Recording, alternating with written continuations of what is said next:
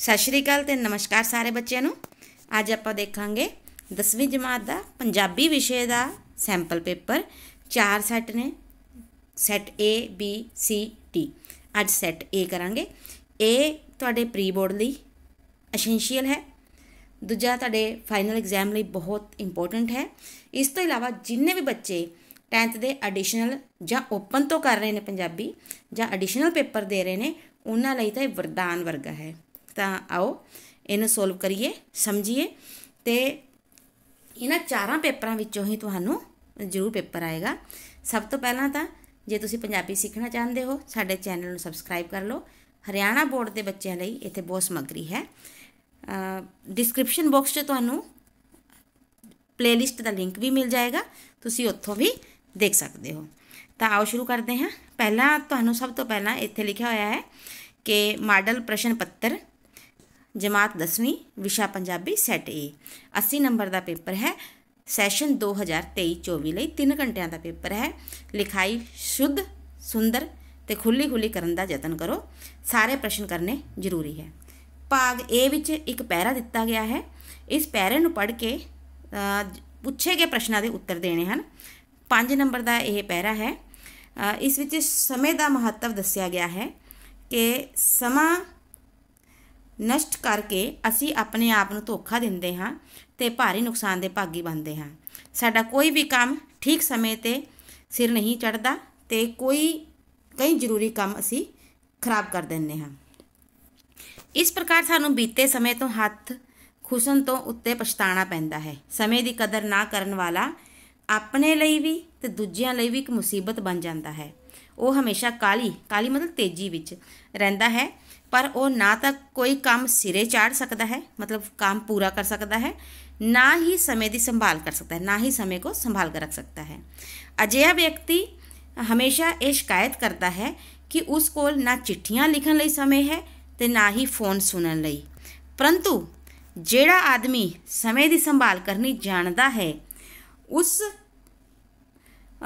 ਉਸ ਦੇ ਸਾਰੇ ਕੰਮ ਆਪਣੇ ਆਪ ਸਿਰੇ ਚੜ ਜਾਂਦੇ ਹਨ ਮਤਲਬ ਉਸ ਦੇ ਸਾਰੇ ਕੰਮ ਆਪਣੇ ਆਪ ਪੂਰੇ ਹੋ ਜਾਂਦੇ ਹਨ ਉਹ ਥੋੜੇ ਸਮੇਂ ਵਿੱਚ ਵੀ ਬਹੁਤ ਕੰਮ ਕਰ ਲੈਂਦਾ ਹੈ most busiest person is the most free person ਜੋ ਸਭ ਤੋਂ ਜ਼ਿਆਦਾ ਬਿਜ਼ੀ ਰਹਿੰਦਾ ਹੈ ਉਹੀ ਸਭ ਤੋਂ ਜ਼ਿਆਦਾ ਫ੍ਰੀ ਹੁੰਦਾ ਹੈ ਕਿਉਂਕਿ ਸਾਰੇ ਕੰਮ ਕਰ ਲੈਂਦਾ ਹੈ ਠੀਕ ਹੈ ਹੁਣ ਤਿੰਨ ਪ੍ਰਸ਼ਨ ਨੇ ਸਮਾਂ ਨਸ਼ਟ ਕਰਨ ਵਾਲਾ ਕਿਸ ਨੂੰ ਧੋਖਾ ਦਿੰਦਾ ਹੈ ਸਮਾਂ ਨਸ਼ਟ ਕਰਨ ਵਾਲਾ ਆਪਣੇ ਆਪ ਨੂੰ ਧੋਖਾ ਦਿੰਦਾ ਹੈ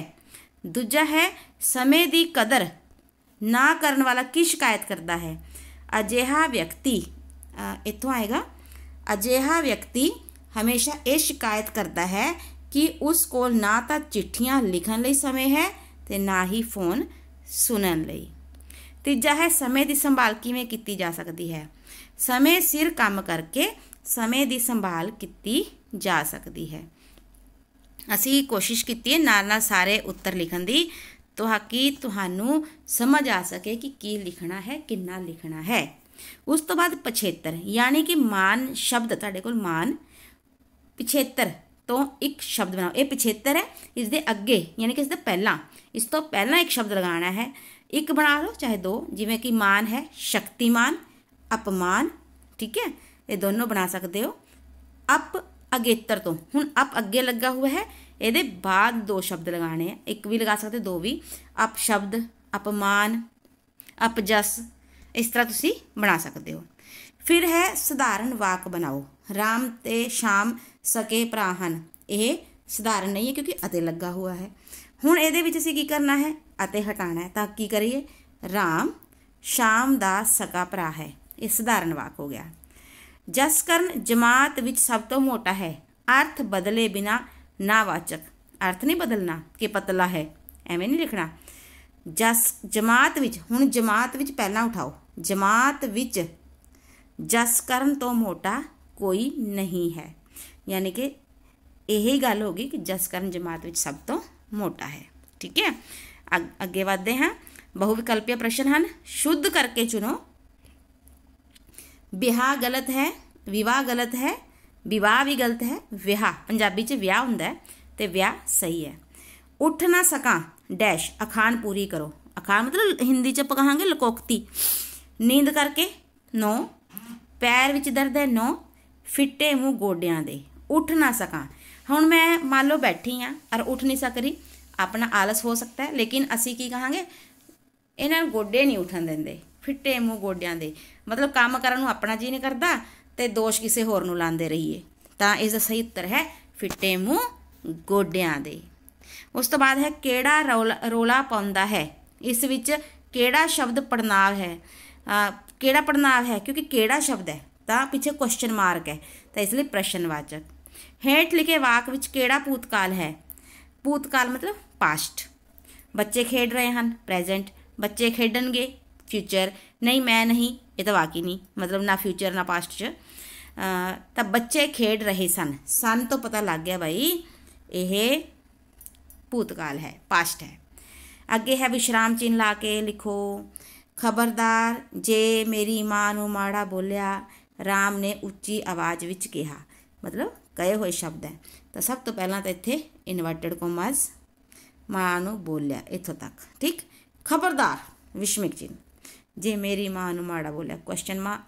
ਇੱਥੇ ਡੰਡੀ ਆ ਜਾਏਗੀ, ਪੂਰਨ ਵਿਰਾਮ ਲੱਗ ਜਾਊਗਾ। ਉਸ ਤੋਂ ਬਾਅਦ ਇਨਵਰਟਡ ਕੋਮਾਸ ਬੰਦ, ਰਾਮ ਨੇ ਉੱਚੀ ਆਵਾਜ਼ ਵਿੱਚ ਕਿਹਾ, ਫਿਰ ਡੰਡੀ। ਠੀਕ? ਉਸ ਤੋਂ ਬਾਅਦ ਹੈ, ਹੇਠ ਲਿਖੇ ਮੁਹਾਵਰਿਆਂ ਵਿੱਚੋਂ ਕਿਸੇ ਇੱਕ ਮੁਹਾਵਰੇ ਨੂੰ ਅਰਥ ਸਹਿਤ ਵਾਕ ਵਿੱਚ ਵਰਤੋ। ਇੱਕ ਅੱਖ ਨਾਲ ਦੇਖਣਾ, ਮਤਲਬ ਸਭ ਨੂੰ ਸਮਾਨ ਸਮਝਣਾ। ਠੀਕ ਹੈ? ਜਿਸ ਤਰ੍ਹਾਂ ਸਾਡੇ ਕੁਝ ਰਾਜੇ ਮਹਾਰਾਜੇ ਜਿਵੇਂ ਮਹਾਰਾਜਾ ਰਣਜੀਤ ਸਿੰਘ ਉਹ ਸਾਰੀ ਜਨਤਾ ਨੂੰ ਇੱਕ ਅੱਖ ਨਾਲ ਵੇਖਦੇ ਸਨ ਸਾਰੀ ਜਨਤਾ ਨੂੰ ਬਹੁਤ ਪਿਆਰ ਕਰਦੇ ਸਨ ਇੱਕ ਸਮਾਨ ਸਮਝਦੇ ਸਨ ਦੂਜਾ ਹੈ ਮੂੰਹ ਦਿਖਾਣੀ ਮੂੰਹ ਦਿਖਾਣੀ ਮਤਲਬ ਹਾਰ ਜਾਣਾ ਜਿਵੇਂ ਕਿ ਪਾਕਿਸਤਾਨੀ ਫੌਜਾਂ ਨੇ ਬਾਰ-ਬਾਰ ਭਾਰਤ ਨਾਲ ਯੁੱਧ ਕਰਕੇ ਮੂੰਹ ਦਿਖਾਦੀ ਮਤਲਬ ਹਾਰ ਗਈਆਂ ਠੀਕ ਹੈ ਉਸ ਤੋਂ ਬਾਅਦ ਇੱਕ ਤੁਹਾਡੇ ਕੋਲ ਸੈਂਟੈਂਸ ਹੈ ਰਕੇਸ਼ ਪੁਸਤਕ ਪੜਦਾ ਹੈ ਇਹਦੀ ਕਰਨੀ ਹੈ ਪਦਵੰਡ ਇਹ ਬਹੁਤ ਗੂੜ ਕੰਮ ਹੈ ਪਿਆਰੇ ਬੱਚਿਓ ਆਓ ਸਮਝਾਉਣ ਦੀ ਕੋਸ਼ਿਸ਼ ਕਰਦੇ ਹਾਂ ਦੇਖੋ ਸਭ ਤੋਂ ਪਹਿਲਾਂ ਤੁਸੀਂ ਇੱਕ ਅੱਖਰ ਉਠਾਓ ਰਕੇਸ਼ ਠੀਕ ਹੈ ਰਕੇਸ਼ ਕੀ ਹੈ ਰਕੇਸ਼ ਨਾਵ ਹੈ ਰਕੇਸ਼ ਖਾਸ ਨਾਮ ਵੀ ਹੈ ਰਕੇਸ਼ ਪੁਲਿੰਗ ਵੀ ਹੈ ਰਕੇਸ਼ ਇੱਕ ਵਚਨ ਵੀ ਹੈ ਤੇ ਰਕੇਸ਼ ਕਰਤਾ ਕਾਰਕ ਵੀ ਹੈ ਹੁਣ ਅਗਲਾ ਅੱਖਰ ਉਠਾਓ ਅਗਲਾ ਸ਼ਬਦ ਹੈ ਪੁਸਤਕ ਪੁਸਤਕ ਨਾਮ ਵੀ ਹੈ ਆਮ ਨਾਮ ਵੀ ਹੈ ਇਸਤਰੀ ਲਿੰਗ ਵੀ ਹੈ ਇੱਕ ਵਚਨ ਵੀ ਹੈ ਤੇ ਕਰਮ ਕਾਰਕ ਵੀ ਹੈ ਠੀਕ ਹੈ ਫਿਰ ਹੈ ਪੜਦਾ ਹੈ ਇਹ ਕੀ ਹੈ ਪੜਦਾ ਹੈ ਕਿਰਿਆ ਹੈ ਇਸ ਤਰ੍ਹਾਂ ਇਸ ਥੋੜਾ ਜਿਹਾ ਲੰਬਾ ਹੈ ਪਰ ਇਹ ਤੁਹਾਨੂੰ ਕਰਨਾ ਹੀ ਪਏਗਾ ਜੇ ਤੁਸੀਂ ਬਹੁਤ ਅੱਛੇ ਨੰਬਰ ਚਾਹੁੰਦੇ ਹੋ ਤਾਂ ਚੰਗੇ ਨੰਬਰਾਂ ਲਈ ਖਾਸ ਮਿਹਨਤ ਉਸ ਤੋਂ ਬਾਅਦ ਹੈ ਇੱਕ ਲੇਖ ਲਿਖਣਾ ਹੈ ਗੁਰੂ ਨਾਨਕ ਦੇਵ ਜੀ ਗੁਰੂ ਨਾਨਕ ਦੇਵ ਜੀ ਸਿੱਖ ਧਰਮ ਦੇ ਬਾਣੀ ਸਨ। ਉਹਨਾਂ ਦਾ ਜਨਮ ਸਮੇਂ ਭਾਰਤ ਦੀ ਅਵਸਥਾ ਬਹੁਤ ਖਰਾਬ ਸੀ। ਫਿਰ ਉਹਨਾਂ ਦੇ ਮਾਤਾ ਪਿਤਾ ਪਿਤਾ ਜੀ ਮਹਿਤਾ ਕਾਲੂ, ਮਾਤਾ ਤ੍ਰਿਪਤਾ ਦੇਵੀ, ਵਿਦਿਆ ਜਦੋਂ 5 ਸਾਲ ਦੇ ਉਹਨਾਂ ਪਾਂਦੇ ਕੋਲ ਪੜਨ ਲਈ ਭੇਜਿਆ ਗਿਆ। ਉਹਨਾਂ ਦਾ ਵਿਆਹ ਬੀਬੀ ਸੁਲੱਖਣੀ ਨਾਲ ਹੋਇਆ। ਫਿਰ ਉਸ ਤੋਂ ਬਾਅਦ ਉਹ ਸੁਲਤਾਨਪੁਰ ਵਿੱਚ ਆਪਣੀ ਭੈਣ ਦੇ ਇੱਥੇ ਮੋਦੀਖਾਨੇ ਵਿੱਚ ਕੰਮ ਕਰਨ ਲਈ ਚਲੇ ਗਏ। ਉੱਥੇ ਉਹਨਾਂ ਨੇ ਪੇਖਾ ਪਖੰਡਾ ਦਾ ਅਧਿਐਨ ਕੀਤਾ ਉਦਾਸੀਆਂ ਕੀਤੀਆਂ ਲੋਕਾਂ ਨੂੰ ਸੱਚ ਦਾ ਰਾਹ ਦਿਖਾਇਆ ਆਪਣੀ ਵਿਚਾਰਧਾਰਾ ਦਿੱਤੀ ਨਿਡਰ ਹੋ ਕੇ ਦੇਸ਼ ਭਗਤੀ ਤੇ ਈਸ਼ਵਰ ਭਗਤੀ ਦਾ ਸੰਦੇਸ਼ ਦਿੱਤਾ ਸੰਗਤ ਤੇ ਪੰਗਤ ਜਿਹੜੀਆਂ ਪ੍ਰਥਾ ਨੇ ਉਹ ਚਲਾਈਆਂ ਤੇ ਅੰਤਮ ਸਮਾਂ ਉਹਨਾਂ ਦਾ ਕਰਤਾਰਪੁਰ ਸਾਹਿਬ ਵਿੱਚ ਵਿਖਿਆ ਜਿੱਥੇ ਉਹਨਾਂ ਨੇ ਕਰਤਾਰਪੁਰ ਨਗਰ ਦੀ ਸਥਾਪਨਾ ਵੀ ਕੀਤੀ ਜਾਂ ਤੁਸੀਂ ਤਿਹਾਰ ਲਿਖ ਸਕਦੇ ਹੋ ਕਿ ਭਾਰਤ ਵਿੱਚ ਕਿਹੜੇ-ਕਿਹੜੇ ਤਿਹਾਰ ਹਨ ਉਹਨਾਂ ਦਾ ਕੀ ਮਹੱਤਵ ਹੈ ਜਾਂ ਪੁਸਤਕਾਲਿਆ ਜਾਂ ਲਾਇਬ੍ਰੇਰੀ ਦੇ ਕੀ ਲਾਭ ਹਨ ਉਸ ਤੋਂ ਬਾਅਦ ਤੁਹਾਡੇ ਕੋਲ ਦੋ ਪੱਤਰ ਨੇ ਇੱਕ ਤਾਂ ਹੈ ਆਪਣੇ ਘਰ ਵਿੱਚ ਹੋਈ ਚੋਰੀ ਦੀ ਸੂਚਨਾ ਦੇਣ ਲਈ ਥਾਣੇ ਦੇ ਐਸਐਚਓ ਨੂੰ ਇੱਕ ਚਿੱਠੀ ਲਿਖੋ ਜਿੰਨੇ ਪੱਤਰ ਤੇ ਜਿੰਨੇ ਲੇਖ ਇਸ ਚਾਰ ਪੇਪਰਾਂ ਵਿੱਚ ਅਸੀਂ ਡਿਸਕਸ ਕਰਾਂਗੇ ਉਹ ਸਾਰੇ ਚੰਗੀ ਤਰ੍ਹਾਂ ਯਾਦ ਕਰ ਲਓ ਆਪਣੀ ਗਾਈਡ ਉਠਾਓ, ਉੱਥੋਂ ਯਾਦ ਕਰੋ। ਤੁਸੀਂ ਮੇਰੇ ਕੋਲ ਲਿਖ ਕੇ ਵੀ ਭੇਜ ਸਕਦੇ ਹੋ। ਮੈਂ ਤੁਹਾਨੂੰ ਬਾਅਦ ਚ ਆਪਣੀ ਈਮੇਲ ਸ਼ੇਅਰ ਕਰ ਦਾਂਗੀ। ਤੁਹਾਡੀ ਗਲਤੀਆਂ ਵੀ ਦੱਸ ਦਵਾਂਗੀ। ਸੇਵਾ ਵਿਖੇ ਦਰਜੇ ਵਿੱਚ ਇੱਥੇ ਆ ਜਾਏਗਾ। ਐਸਐਚਓ ਸਾਹਿਬ, ਥਾਣਾ, ਕਰਨਾਲ, ਕੈਥਲ, ਜੋ ਵੀ ਲਿਖਣਾ ਹੈ, ਉਹ ਆ ਜਾਏਗਾ। ਰਿਸਪੈਕਟਡ ਸਰ ਚ ਤੁਸੀਂ ਲਿਖ ਸਕਦੇ ਸ਼੍ਰੀਮਾਨ ਜੀ। ਵਿਸ਼ਾ ਆ ਜਾਏਗਾ ਕਿ ਆਪਣੇ ਘਰ ਵਿੱਚ ਹੋਈ ਚੋਰੀ ਦੀ ਸੂਚਨਾ ਬਾਰੇ। ਫਿਰ ਉਹਦੇ ਵੇਰਵਾ ਦੇ ਕੇ ਐਂਡ ਵਿੱਚ ਉਮੀਦ ਹੈ ਕਿ ਤੁਸੀਂ ਸਾਡੇ ਚੋਰੀ ਹੋਏ ਸਮਾਨ ਨੂੰ ਬਰਾਮਦ ਕਰਨ ਤੇ ਚੋਰਾਂ ਨੂੰ ਬਣਦੀ ਕਾਰਵਾਈ ਕਰਨ ਦਾ ਕਸ਼ਟ ਕਰੋਗੇ? ਧੰਨਵਾਦ। ਫਿਰ ਤੁਹਾਡਾ ਡਿਟੇਲ ਆ ਜਾਏਗੀ। ਇਸੇ ਪ੍ਰਕਾਰ ਸਕੂਲ ਦੇ ਪ੍ਰਿੰਸੀਪਲ ਸਾਹਿਬ ਨੂੰ ਸਕੂਲ ਛੱਡਣ ਦਾ ਸਰਟੀਫਿਕੇਟ ਲੈਣ ਲਈ ਬਿਨੇ ਪੱਤਰ ਲਿਖਣਾ ਹੈ। ਠੀਕ ਹੈ? ਫਿਰ ਉਸ ਤੋਂ ਬਾਅਦ ਇੱਕ ਕਾਵ ਟੁੱਟਿਆ ਹੈ ਪਿਆਰੇ ਬੱਚਿਓ। ਮਨਮੁਖ ਗਰੀਬ ਨਾ ਪਾਇਓ, ਅਗਿਆਨ ਇਆਨੇ ਸਤਗੁਰ ਸੇਵਾ ਨਾ ਕਰ, ਫਿਰ ਫਿਰ ਪਛਤਾਣੇ। ਗਰਭ ਜੋਨੀ ਵਾਸ ਪਾਏ ਦੇ ਗਰਭੇ ਗਲ ਜਾਣੇ, ਮੇਰੇ ਕਰਤੇ ਐਵੇਂ ਭਾਵ ਦਾ ਮਨਮੁਖ ਪ੍ਰਮਾਣੇ ਦੂਜਾ ਹੈ, ਅੱਜ ਫੇਰ ਦਿਨ ਚਮਕਿਆ ਹੈ। ਤੇ ਇਸ ਦੀ ਕੀ ਕਰਨੀ ਹੈ? ਪ੍ਰਸੰਗ ਸਹਿਤ ਵਿਆਖਿਆ ਕਿ ਇਹ ਕਾਵ ਟੋਟਾ ਜਿਹੜਾ ਹੈ, ਉਹ ਕਿਹੜੀ ਪੰਕਤੀਆਂ ਵਿੱਚੋਂ, ਕਿਹੜੇ ਕਵਿਤਾ ਵਿੱਚੋਂ ਲਿਆ ਗਿਆ ਹੈ? ਜਾਂ ਫਿਰ ਉਸ ਤੋਂ ਬਾਅਦ ਤੁਸੀਂ ਦੱਸਣਾ ਵਿਆਖਿਆ ਕਿ ਇਸ ਵਿੱਚ ਕਵੀ ਜਾਂ ਆਪਣੇ ਕਵੀ ਨੇ ਉਹ ਕੀ ਦੱਸਣਾ ਚਾਹੁੰਦੇ ਨੇ ਅੱਜ ਫੇਰ ਸਾਰਾ ਦਿਨ ਚਮਕਿਆ ਹੈ ਸੂਰਜ ਇੱਧਰ ਵੀ ਉੱਧਰ ਵੀ ਸਰਹੱਦ ਦੇ ਇਸ ਪਾਰ ਸਰਹੱਦ ਦੇ ਉਸ ਪਾਰ ਹਵਾ ਮਸਤ ਬੇਖਬਰ ਸਰਹੱਦੀ ਪਹਿਰੇ ਤੋਂ ਹਮਸਾਏ ਦੇ ਘਰ ਵਿੱਚ ਗਈ ਹੈ ਉਸ ਤਰਫ ਬਿਨਾ ਖੋਫ ਦੇ ਘੁੰਮੀ ਹੈ ਸਭ ਦੀ ਸੁਖ ਸਾਂਦ ਪੁੱਛੀ ਹੈ ਤੇ ਫਿਰ ਪਰਤ ਆਈ ਹੈ ਮੇਰੇ ਤਰਫ ਬਹੁਤ ਸੋਹਣੀ ਕਵਿਤਾ ਹੈ ਤੇ ਇਹਦੇ ਪ੍ਰਸੰਗ ਸਹਿਤ ਵਿਆਖਿਆ ਕਰਨੀ ਪਹਿਲਾ ਪ੍ਰਸੰਗ ਤੇ ਫਿਰ ਵਿਆਖਿਆ ਉਸ ਤੋਂ ਬਾਅਦ ਛੋਟੇ ਪ੍ਰਸ਼ਨ ਨੇ ਆਪਸ਼ਨਲ ਨੇ ਮੇਜਵਾਨੀ ਕਵਿਤਾ ਕਿਸ ਦੀ ਲਿਖੀ ਹੋਈ ਹੈ ਸਾਹ ਹੁਸੈਨ ਜੀ ਦੀ ਮਾਨਵਤਾ ਦੀ ਸੇਵਾ ਲਈ ਕੌਣ ਧਰਤੀ ਸੰਗ ਹੋਂਦ ਵਿੱਚ ਆਏ ਰੁੱਖ ਸਿੱਖ ਕਿਸ ਤਰ੍ਹਾਂ ਅੰਮ੍ਰਿਤ ਛਕਦੇ ਹਨ ਇੱਕੋ ਬਾਟੇ ਵਿੱਚ ਬਾਟਾ ਮਤਲਬ ਹੋ ਗਿਆ ਇੱਕ ਜਿਸ ਕਟੋਰਾ ਟਾਈਪ ਸਾਡੀ ਮਾਂ ਬੋਲੀ ਕਿਹੜੀ ਹੈ ਪੰਜਾਬੀ ਲਾਡੋ ਅਖਵਾਣਾ ਯਾਨੀ ਕਿ ਜਿਹੜੀ ਆਪਣਾ ਪਿਆਰ ਨਾਲ ਆਪਣੀ ਬੇਟੀ ਨੂੰ ਬੁਲਾਉਂਦੇ ਆ ਲਾਡੋ ਅਖਵਾਣਾ ਕਿਸ ਨੂੰ ਚੰਗਾ ਲੱਗਦਾ ਹੈ ਜੰਮਣ ਵਾਲੀ ਧੀ ਨੂੰ ਉਸ ਤੋਂ ਬਾਅਦ ਇੱਕ ਸ਼ਬਦ 'ਚ ਉੱਤਰ ਦੇਣਾ ਹੈ ਰਜਨੀ ਦੀ ਖਾਸੀਅਤ ਕੀ ਹੈ ਉਹ ਸਕੂਲ ਤੋਂ ਕਦੇ ਗੈਰ ਹਾਜ਼ਰ ਨਹੀਂ ਹੁੰਦੀ ਆਜਮ ਮਾਰਕੀਟ ਲਾਹੌਰ ਦਾ ਦੁਕਾਨਦਾਰ ਕਿੱਥੋਂ ਦਾ ਰਹਿਣ ਵਾਲਾ ਸੀ ਜਲੰਧਰ ਦਾ ਮੀਨਾਕਸ਼ੀ ਨੂੰ ਠੀਕ ਹੋਣ ਵਿੱਚ ਕਿੰਨੇ ਕਿੰਨੇ ਮਹੀਨੇ ਲੱਗੇ 3 ਮਹੀਨੇ ਵੰਦਨਾ ਦਾ ਚਿਹਰਾ ਕਿਉਂ ਕੁਮਲਾ ਗਿਆ ਕੁਮਲਾ ਗਿਆ ਮਤਲਬ ਮੁਰਝਾ ਗਿਆ ਕੁਮਲਾਏ ਹੋਏ ਬੁੱਟੇ ਦੇਖ ਕੇ ਕੁਮਲਾਏ ਮਤਲਬ ਮੁਰਝਾਏ ਹੋਏ ਫੁੱਲ ਬੁੱਟੇ ਦੇਖ ਕੇ ਉਸ ਦਾ ਚਿਹਰਾ ਵੀ ਕੁਮਲਾ ਗਿਆ ਸੱਪ ਕਿੰਨਾ ਲੰਮਾ ਸੀ 3 ਫੁੱਟ ਤੋਂ ਵੱਧ ਉਸ ਤੋਂ ਬਾਅਦ ਕਿਸੇ ਤਿੰਨ ਪ੍ਰਸ਼ਨਾਂ ਦੇ ਉੱਤਰ ਦੇਣੇ ਨੇ ਵੈਰੀ ਸ਼ਾਰਟ ਨੇ ਇਹ ਤੋਤਾ ਮੈਨਾ ਕਿੱਥੇ ਬੈਠੇ ਸਨ ਟਾਲੀ ਉੱਤੇ ਬੀਬੀ ਭਾਨੇ ਦਾ ਜਨਮ ਕਦੋਂ ਹੋਇਆ 1590 ਈਸਵੀ ਵਿੱਚ ਮਿਲਖਾ ਸਿੰਘ ਕਿੰਨੇ ਮੁਲਕਾਂ ਵਿੱਚ ਮੁਕਾਬਲੇ ਦੀ ਦੌੜ ਦੌੜਿਆ 70 ਮੁਲਕਾਂ ਵਿੱਚ ਡਾਕਟਰ ਕਲਾਮ ਦੀ ਰੁਚੀ ਕਿਸ ਵਿਸ਼ੇ ਵਿੱਚ ਸੀ ਅੰਕ ਗਣਿਤ ਵਿੱਚ ਨਾਨਕ ਸਿੰਘ ਦਾ ਪਹਿਲਾ ਨਾਂ ਕੀ ਸੀ ਹੰਸਰਾਜ ਉਸ ਤੋਂ ਬਾਅਦ 20 25 ਸ਼ਬਦਾਂ ਵਿੱਚ ਉੱਤਰ ਦੇਣੇ ਨੇ ਦੋ ਦੋ ਨੰਬਰ ਦੇ ਪ੍ਰਸ਼ਨ ਇਹ ਮੰਡੀਰ ਤੋਂ ਕੀ ਭਾਵ ਹੈ ਮੰਡੀਰ ਅਲੜ ਤੇ ਬੇਸਮਝ ਇਸ ਦਾ ਉੱਤਰ ਮੈਂ ਇੱਥੇ ਲਿਖਿਆ ਹੈ ਇਹ ਵਾਲਾ ਬੇਸਮਝ ਮੁੰਡਿਆਂ ਦੇ ਇਕੱਠ ਨੂੰ ਮਤਲਬ ਜਹਾਂ ਪਰ ਬਹੁਤ ਸਾਰੇ ਜਿਹੜੇ ਲੜਕੇ ਨੇ ਉਹ ਇਕੱਠੇ ਹੋ ਜਾਂਦੇ ਨੇ ਬਿਲਕੁਲ ਬੇਸਮਝ ਹੈ ਨਾ ਸਮਝ ਟਾਈਪ ਤੇ ਉਹਨਾਂ ਸਾਰਿਆਂ ਦੇ ਗਰੁੱਪ ਨੂੰ ਮੰਡੀਰ ਕਿਹਾ ਜਾਂਦਾ ਹੈ ਤੇ ਕਿੱਥੇ ਜਾਣ ਲਈ ਰੇਸ ਲਾਉਂਦੀ ਹੈ ਮੰਡੀਰ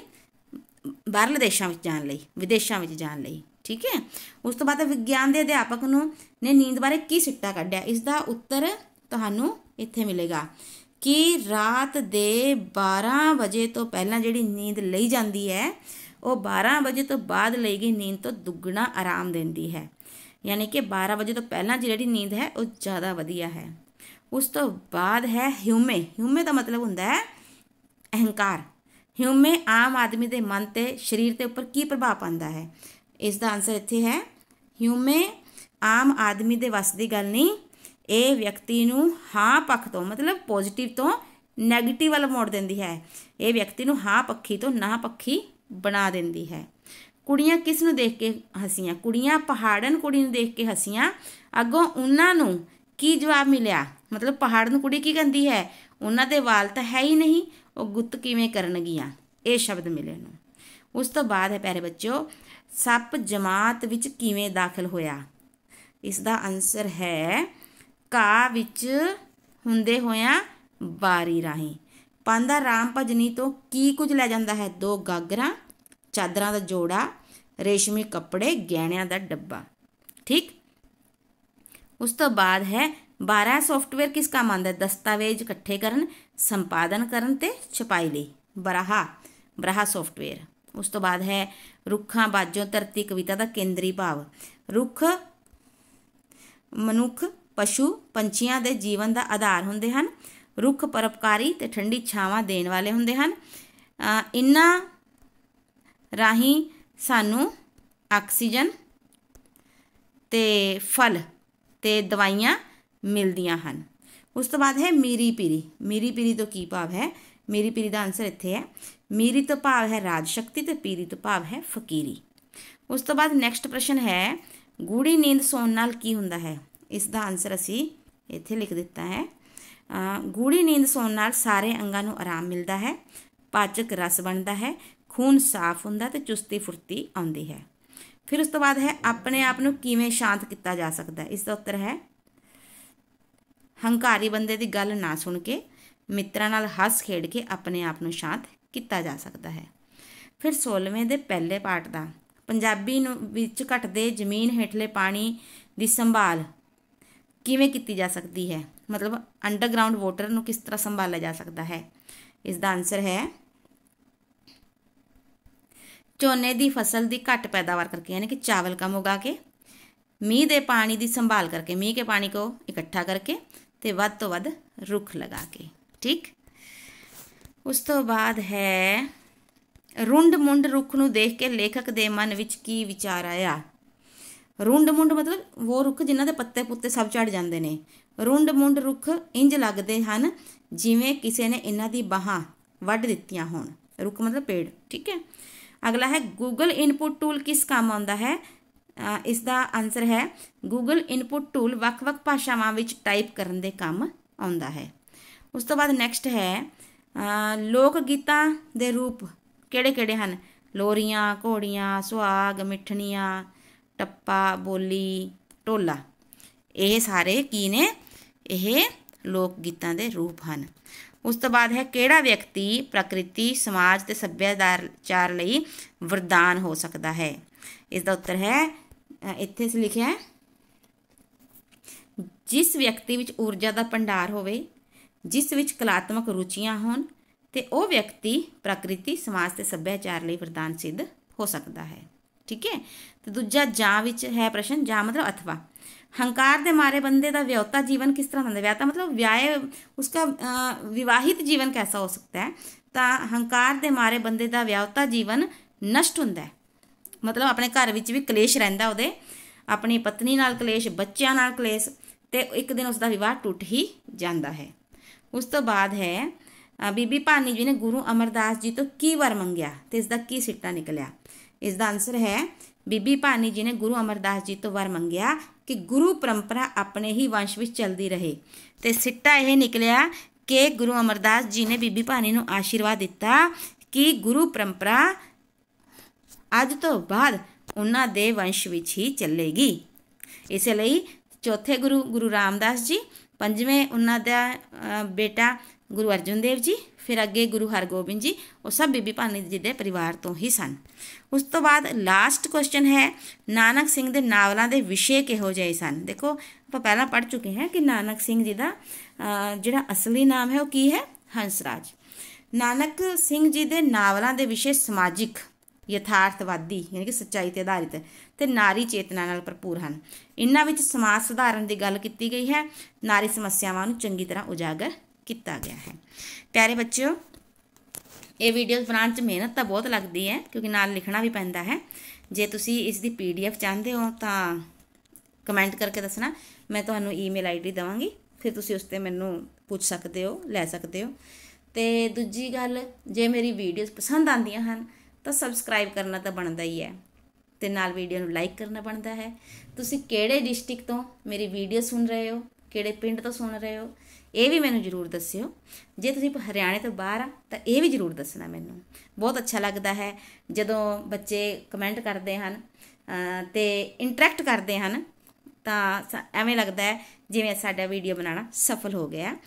Thank you so much have a nice day ਤੇ ਤੁਹਾਡੇ ਬਹੁਤ ਵਧੀਆ ਅੰਕ ਪ੍ਰਾਪਤ ਹੋ ਤੁਸੀਂ ਪਹਿਲੀ ਵਾਰ ਚ ਹੀ ਬਹੁਤ ਵਧੀਆ ਨੰਬਰ ਲੈ ਕੇ ਪਾਸ ਹੋ ਜਾਵੋ ਬੈਸਟ ਵਿਸ਼ੇਸ ਰੱਬ ਰਾਖਾ